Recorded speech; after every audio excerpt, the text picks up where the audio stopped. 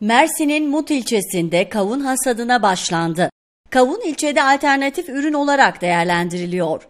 Mut İlçe Tarım ve Orman Müdürü Ekrem Bayır, ilçede alternatif ürün olarak yetiştirilen kavun tarlalarını ziyaret etti. Üreticilerimiz kayısının, eriğin, zeytinin yanında işte kavun gibi alternatif ürünleri de ekerek ekonomilerine, ilçe ekonomimize katkı sunmaktadırlar. Üreticiler alternatif ürün kavundan memnun. ürün üretmekteyim. Alternatif ürün olarak da e, toprak kalitesi ve e, mikro klima olarak Mut'ta çok güzel kavun yetişeceğine inandığım için bu işi 20 yıldır yapıyorum. İlçede üretilen kavunlar yurdun dört bir yanına gönderiliyor. Yetiştirilen kavunlar lezzetiyle de dikkat çekiyor.